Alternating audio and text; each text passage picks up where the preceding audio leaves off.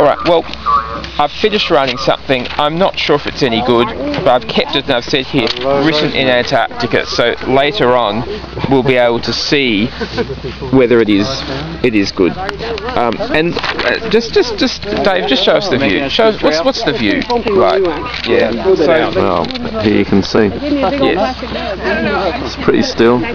It's, It's almost like a mirror. It probably Frozen hasn't changed from when I last showed you the view, but you know, how often you're in Antarctica? I'm just going to keep showing this. I'll be here all day showing people the view.